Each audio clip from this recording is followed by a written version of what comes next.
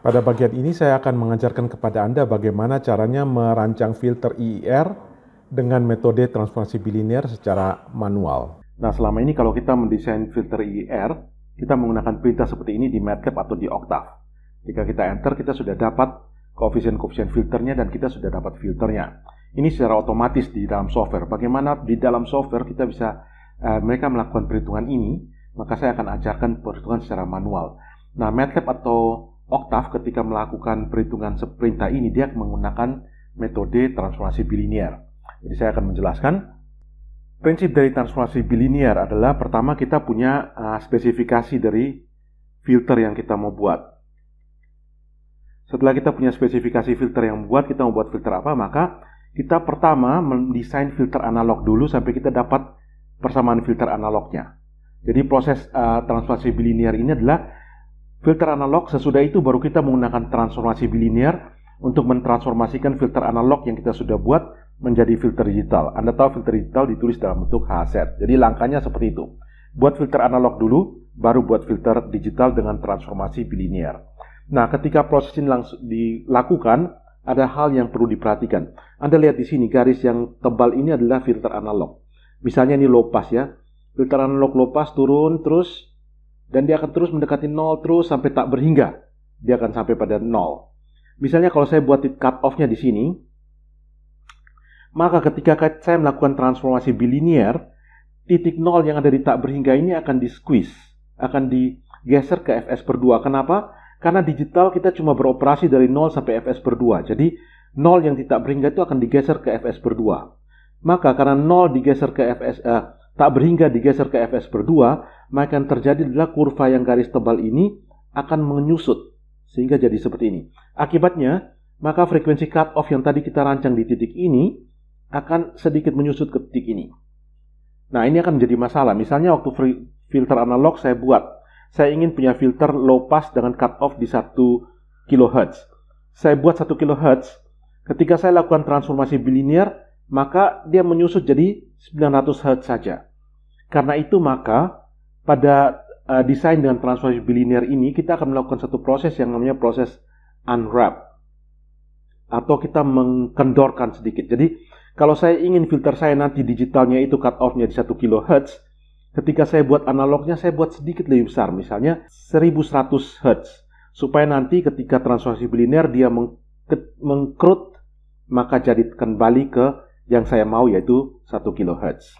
Nah, ini adalah langkah-langkah untuk kita mendesain filter analog Butterworth, eh, filter digital Butterworth dengan menggunakan transformasi bilinear. Langkah pertama adalah kita menentukan parameter dari filternya. Jadi kita mau buat filter apa, ini low pass, high pass, band pass, atau band stop, cut off-nya di berapa, dan sebagainya. Ini menentukan parameternya. Kemudian ada langkah kedua, ketiga, keempat, kelima, keenam, ketujuh. Nah, Anda perhatikan di sini bahwa ketika kita akan buat Butterworth, Butterworth ini sudah memberikan kepada kita suatu tabel tentang kalau mau filter Butterworth persamaannya seperti apa untuk analog dia sudah buat. Cuma dia tidak mungkin buat semua filter karena dia tidak tahu kita buat filter apa. Karena itu yang dibuat di sini adalah yang prototype saja, bentuk paling dasar saja. Nah, prototype yang dibuat itu apa? Prototipenya itu selalu low pass filter dan cut off-nya ada di satu radian per detik. Sehingga ketika kita mau buat, saya mau buat katakanlah low pass filter tapi cut off-nya bukan di satu radian per detik, saya harus melakukan langkah-langkah ini untuk menormalisasi sehingga saya bisa tahu oh yang setara di satu radian per detik itu yang mana. Demikian juga kalau saya mau buat high pass filter, saya juga harus melakukan langkah-langkah 2, 3, 4 ini untuk supaya saya bisa ketemu oh kesetaraan di tabel ini yang mana, gitu ya. Di satu radian per detik itu yang mana dan seterusnya. Setelah saya dapat filter uh, kesetaraan yang di prototype satu radian per detik, langkah keenam adalah saya kembalikan. Jadi kalau misalnya tadi saya buat untuk 1 kHz, di sini satu radian per detik, langkah keenam saya kembalikan filternya ke high pass, low pass atau band pass yang 1 kHz. Baru langkah ketujuh adalah langkah untuk kita jadikan digital. Jadi transformasi bilinearnya ada di langkah yang ketujuh. Saya akan tunjukkan dengan menggunakan contoh. Nah, ada kekhususan. Ini Misalnya jika kita sudah tahu ordenya berapa, sesungguhnya langkah-langkah yang ini itu adalah langkah untuk menentukan orde filternya berapa. Nah kalau dari awal filternya saya sudah tahu ordenya berapa, maka saya tidak perlu lagi lakukan semua langkah. Yang perlu kita lakukan yang ada di kotak-kotak biru ini saja sehingga langkah kita lebih cepat. Tapi kalau kita tidak tahu order berapa maka kita harus lakukan semua langkah itu. Nah, Anda perhatikan di tabel ini, kolom pertama ini adalah untuk low pass filter, jadi Anda gunakan jalur ini. High pass filter gunakan jalur yang ini. Band pass filter pakai jalur yang ini. Band stop filter pakai jalur yang ini. Oke, kita akan masuk pada contoh yang pertama. Rancanglah filter low pass filter Butterworth, jadi LPF Butterworth, orde 2. Frekuensi cut off-nya, jadi kita sudah dapat frekuensi cut off-nya 2 kHz. Kemudian frekuensi samplingnya Fs saja, saya tulis Fs 10 kHz. Karena kita sudah tahu ordenya, maka kita akan ikut jalur yang biru ini saja. Pertama, ini saya sudah punya, frekuensi cut off saya sudah punya, N saya sudah punya, dua, frekuensi sampling juga saya sudah punya, Fs-nya sudah punya, maka saya langsung ke sini. Ke sini adalah omega cut off ternormalisasi, omega cut off ternormalisasi adalah 2pi kali frekuensi cut off per frekuensi sampling 2 kilo per 10 kilo saya ketemu 1,2566 kemudian saya maju ke langkah yang berikutnya. Saya hitung omega C nya. Ini proses unwrap yang tadi saya jelaskan di depan kita kendorkan dulu. Omega C sama dengan 2 kali tangen omega C normalisasi ini bagi 2 jadi omega C ada 2 tangen ini angka yang dari sini bagi 2 kalau saya hitung saya ketemu 1,4531 radian per detik. Sesudah saya ketemu ini, maka saya langsung ke langkah ini. Nah, Anda lihat di sini, ini agak kurang jelas di sini, ada tertulis begini. HS sama dengan 1 per denumerator. S. Denumeratornya di mana dapat dari tabel ini. Nah, sekarang kita lihat, karena kita mencari orde 2, N sama dengan 2, maka saya akan ambil yang N sama dengan 2 ini. Sehingga HS saya jadi 1 per S kuadrat tambah 1,414 S tambah 1. Jadi ini. Saya sudah dapat HS saya secara prototype. Ini masih prototype. Jadi ini adalah low pass filter dengan cut off-nya ada di 1 radian per detik. Yang saya mau bukan begitu. Yang saya mau cut off-nya ada di 2 kHz atau kita bisa hitung radiannya. Maka masuk ke langkah ke-6 saya akan lakukan pergeseran kembalikan frekuensinya. Caranya bagaimana? Caranya semua S yang ada di sini saya ganti dengan 1 per omega C kali S. Omega C-nya yang ini. Jadi semua S saya ganti dengan 1 per omega C kali S. 1 per omega C-nya yang ini kali S. Ini kalau saya hitung angkanya 0,6882. Jadi dengan kata lain semua S saya ganti dengan 0,6882 S. Jadi sini ini S kuadrat, ini kan jadi S kuadrat 0,6882 S 1,414 S 1,414 ini juga S. Satunya tetap. Kemudian sekali tinggal kalikan saja. Ini S nya jadi S kuadrat ini angka ini dikuadratkan jadi 0,4736 1,414 dikali 0,6882 jadi 0,9731 S. Ini saya sudah selesai maka saya sudah dapat filter analog. Yang cut off-nya 2 kilo besar sedikit karena tadi kita ada molorkan sedikit. Sudah selesai. Nah, sekarang baru saya masuk ke transformasi bilinearnya. Jadi ini saya tulis lagi yang tadi saya sudah dapat. Transformasi bilinear bagaimana? Semua S saya ganti dengan ini. 2 kali 1 min set pangkat min 1 per 1 plus set pangkat min 1. Semua S saya ganti dengan itu. Jadi Anda lihat di sini, ya ini. 1 tetap per angka ini tetap S kuadrat saya ganti dengan ini kuadrat. 0,9731 S. Ini S. Ya, ini tadi S plus 1. Oke, sekarang saya tinggal samakan penyebut ini kan ada kuadrat menjadi kuadrat ini jadi kuadrat, maka supaya sama uh, penyebutnya bisa hilang, samakan penyebut saya kali dengan 1 plus Z pangkat min 1 kuadrat 1 plus Z pangkat min 1 kuadrat gitu ya. Ini kan kalau dibagi satu ya. Ini saya kalikan maka akan jadi ini dikali ke sini kan jadi 1 plus Z pangkat min 1 kuadrat. Ini saya hapus dulu aja supaya tidak membingungkan. Kemudian ini kalau dikali 1 jadi ini, betul ya. Ini dikali ini karena ini juga jadi kalau ini sudah tidak ada, ini kuadrat kuadrat begitu ya. Ini dikali ke sini maka kuadratnya akan hilang sehingga tinggal 0,4736 kali 2 itu 1, oh, ini 2 kuadrat ini jadi 4 ya.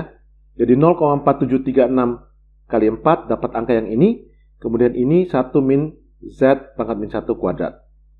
Yang ini atasnya tetap karena ini sudah ada 1 tambah Z pangkat min 1 dikali 1 tambah Z pangkat min 1 kuadrat maka jadi 1 tambah Z pangkat min 1 kali 1 min Z pangkat min 1. Jadi seperti ini.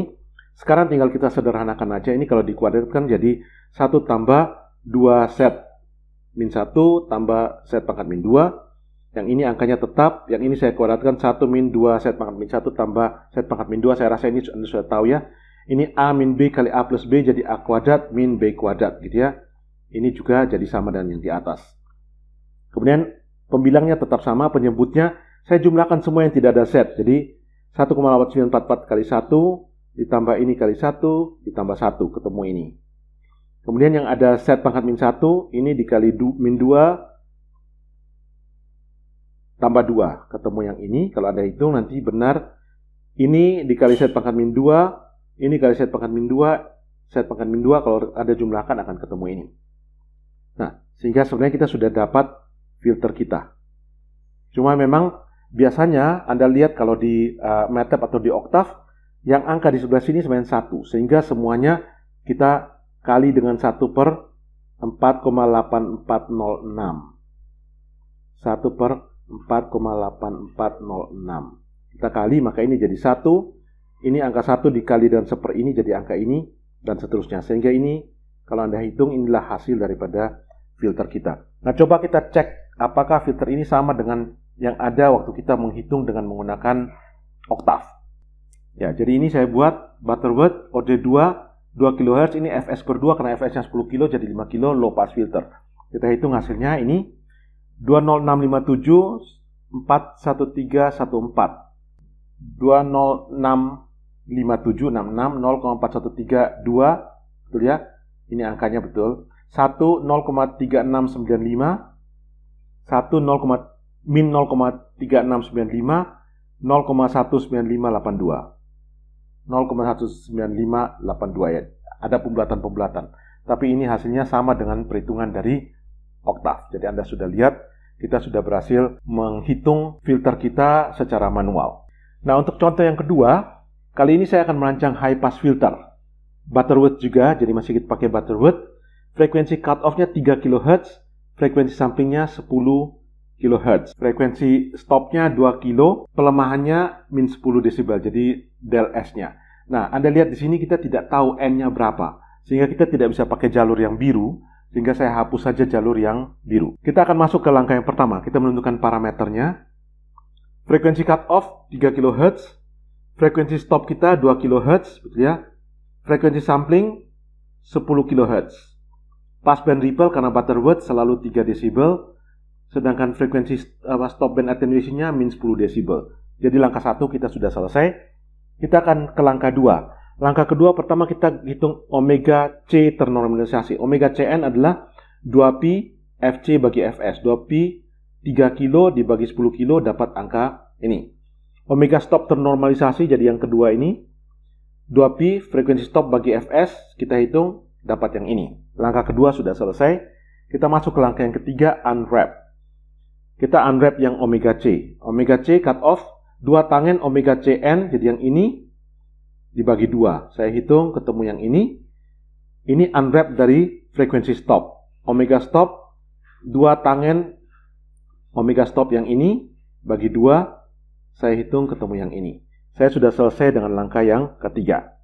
Langkah yang keempat, kita lakukan normalisasi. Jadi, kita pakai, karena kita pakai high pass filter, maka jalur yang ini. Saya pakai yang ini sekarang, omega C sama dengan 1. Kemudian omega stop, omega besar stop ini sama dengan omega C dibagi omega stop. Omega C omega C dari yang sini 2,7529 bagi omega stop yang ini 1,4530. Saya dapat 1,8946. Nah, dengan ini saya bisa masuk ke langkah kelima untuk mencari prototype. Ketika kita mencari prototipe, kita bisa pakai rumus ini untuk dapat ordenya berapa, tapi agak rumit. Saya lebih cenderung kita pakai gambar ini saja. Nah, saya akan perbesar gambarnya. Ya, seperti itu ya. Jadi Anda lihat sekarang omeganya C-nya ada di 1, omega C-nya di 1, omega stopnya ada di 1,8946. Ya, 1,5 di sini, kira-kira di sini. Stop band attenuation-nya min 10 desibel, jadi ada di sini. Ini kalau saya tarik garisnya, dan yang ini saya tarik garisnya, saya ketemu titik potongnya di sini. Artinya saya ingin punya filter yang kemiringannya seperti ini. Maka kalau saya pilih orde 1 kurang cukup. Saya pilih orde 2 sudah lebih, maka saya harus pilih ordenya orde 2. Jadi saya pilih ordenya orde 2. Kalau saya sudah pilih orde 2, maka saya akan ambil yang ini. Kalau kita ketemu orde yang lebih besar, maka kita harus ambil dari tabel yang lebih besar juga. Maka sekarang saya sudah tulis, saya ambil di sini, maka HS saya saya ketemu 1 per S kuadrat tambah 1,414 S tambah 1. Itu datangnya dari sini. Dari yang N sama dengan 2. Oke, ini adalah filter analog kita yang masih prototype. Kita harus kembalikan ke high pass filter dengan frekuensi cut off yang kita mau. Maka kita, karena high pass filter, kita pakai ini. Gantilah semua S dengan omega C per S. Jadi ini saya tulis lagi yang langkah kelima. Ganti semua S dengan omega C per S. Jadi karena omega C-nya tadi kita sudah ketemu, Anda lihat di slide sebelumnya 2,7529. Maka semua S di sini harus saya ganti dengan 2,7529 per S. Jadi ini S, ini kan S kuadrat. Jadi S kuadrat 1,414 S tambah 1. S-nya datang dari sini. Sekarang tinggal saya sederhanakan aja. Ini di atasnya harus ada 1 per, gitu ya. Caranya saya sederhanakan bagaimana? Ini saya kalikan dulu. Ini kuadrat, kuadrat, betul ya? Ini 1,414 dikali ini jadi angkanya sini bagi S plus 1. Oke, sekarang saya samakan supaya hilang penyebut-penyebut kecil ini maka saya kali S kuadrat per S kuadrat gitu ya. Atasnya maka jadi ini kali ini jadi S kuadrat. Angka ini kalau dikali S kuadrat yang bawah bawahnya hilang jadi tinggal 2,7529 kuadrat. Yang ini S kuadrat bagi S berarti masih sisa S1 di sini. Ini dikali ini masih tetap ada angkanya. 1 kali S kuadrat jadi S kuadrat. Sekarang ini saya hitung, S kuadrat, ini kalau saya kuadratkan angkanya dapat ini, ini kali ini dapat angka yang ini, dan ini S kuadrat. Maka saya sudah ketemu, sekarang filter saya, langkah ke-6 sudah selesai. Saya sudah dapat filter seperti yang saya maksud, yaitu filter low pass filter, eh, high pass filter dan cut off di 3 kHz besar sedikit karena kita lakukan unwrap. Sekarang saya masuk di tahap terakhir, yaitu tahap untuk melakukan transformasi bilinear untuk menjadikan digital. Saya tulis lagi yang langkah ke-6 tadi yang ini. Transformasi bilinear, uh, bilinear maka semua S saya ganti dengan ini. 2 kali 1 min set pangkat min 1 per 1 plus set pangkat min 1. Jadi S kuadrat, ini S kuadrat. Ini angka ini saya tulis lagi, ini ada S, maka ini S. S gitu ya ini S kuadrat maka ini S kuadrat gitu ya oke ini kuadrat maka 2 dikuadratkan jadi 4 ini kuadrat ini bawahnya kuadrat gitu ya. Angka ini tetap. Ini dikali 2 dapat 7,7852 1 min set pangkat min 1 1 plus set pangkat min 1 ini kuadrat jadi 4 kuadrat kuadrat gitu ya. Sekarang supaya menghilangkan yang penyebut-penyebut yang kecil maka saya kali dengan set pangkat min 1 kuadrat per 1 tambah set pangkat min 1 kuadrat. Ini kan angkanya sama, jadi sama dengan 1. Ini dikali ini, hasilnya tinggal yang atasnya saja. Ini dikali ini, ini juga hilang bisa dicoret, tinggal yang 4 kali 1 tambah set min 1 kuadrat. Ini dikali ini karena ini ada 1, ini ada kuadrat, maka tinggal 1. Jadi 7,7852 1 min set pangkat min 1 kali 1 plus set pangkat min 1. Ini dikali ini dapat seperti ini. Oke, Anda bisa lihat lagi pelan-pelan. Kemudian saya tinggal sederhanakan saja. Saya tulis lagi itu, yang tadi saya tulis lagi. 4, ini 1 min set pangkat min 1 kuadrat, jadi 1 min 2 set pangkat min 1 plus set pangkat min 2. Yang ini juga 1 plus 2 set pangkat min 1 plus set pangkat min 2. Yang ini sekali lagi A min B kali A tambah B, jadi A kuadrat min B kuadrat. Angkanya tetap sama. Yang ini sama persis dan yang atas ini. Ya. Anda lihat sekarang saya sederhanakan semua yang tidak ada set saya jumlahkan, semua yang ada set min 1 saya jumlahkan, semua yang ada set min 2 saya jumlahkan, maka saya dapat persamaan seperti ini. Nah ini sebenarnya sudah selesai, cuma biasanya di sini satu. Karena di sini satu, maka kita kali dengan satu per 19,364 bagi satu per 19,364 dikalikan maka ini akan jadi satu sehingga persamaannya jadi seperti ini. Maka saya sudah selesai. Coba kita cek di uh, Octave atau di MATLAB apakah ini sama seperti yang kita hitung benar atau tidak. Anda lihat angka ini, saya coba di MATLAB, di Octave ya. Jadi ini order 2, Butterworth order 2, cut off-nya di 3 kilo, ini FS per 2-nya 5 kilo dan high pass filter. Anda lihat angkanya, kalau Anda bandingkan angka ini 2,657 min 0,1 0,41314 2,0,20657 ini Anda lihat angkanya sama ini 1 0,36960 1 0,369 ya beda sedikit ya ada pembulatan 1 0,19582 0,19589 ya ada perbedaan sedikit karena pembulatan tapi intinya kita sudah melakukan proses sampai selesai dan hasil perhitungan kita cukup akurat Oke, itu tadi yang uh, Butterworth. Sekarang bagaimana dengan CBSF 1, CBSF 2, dan seterusnya.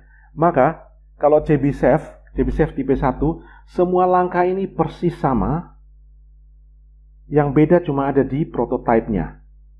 Nah, Anda lihat sini ada prototype, ini terlalu kecil saya besarkan di sini. Anda lihat ada prototipenya dan gambarnya Anda bisa pakai gambar yang ini. Sehingga seluruh proses yang sama saya tidak contohkan lagi, Anda bisa ikuti sampai selesai anda bisa melakukan yang sama persis. Nah, Anda ingat kalau CBSEF uh, ada ketentuan untuk passband ripple-nya berapa. Jadi ini khusus untuk passband ripple 0,5 desibel. Kalau Anda menggunakan passband ripple yang 1 desibel, maka akan ada tabel prototype tersendiri, ada gambar tersendiri lagi. Akan saya tunjukkan nanti. Kalau Anda merancang CBSEF tipe 1 dengan passband ripple 1 desibel, maka Anda menggunakan gambar ini dan prototipenya Anda menggunakan prototype yang seperti ini. Jadi ini prototype untuk passband ripple 1 desibel. Kalau Anda menggunakan MATLAB atau Octave untuk merancang CBSF uh, tipe 1, maka perintahnya seperti ini. BA CB1, ini ordenya, ini cut off-nya low atau high atau band pass dan sebagainya. Nah, di sini Anda harus memberikan passband ripple-nya. Misalnya passband ripple-nya 0,1 berarti 0,1 desibel. desibel. Kalau 0,5 desibel Anda tulis sini 0,5, kalau 1 desibel ya Anda tulis 1, maka Anda dapat B dan A. Prinsip yang sama akan Anda pakai untuk merancang CBSF tipe 2. Jadi ini gambarnya untuk Anda menentukan orde dari CBSF tipe 2 dan ini prototype dari untuk CBSF tipe 2 untuk attenuation stop band attenuationnya 20 desibel. Kalau stop band attenuation yang lain tentunya Anda harus cari tabelnya sendiri. Demikian juga ini adalah gambar untuk menentukan orde daripada filter eliptik untuk passband ripple 0,5 desibel dan stop band attenuation-nya 40 desibel.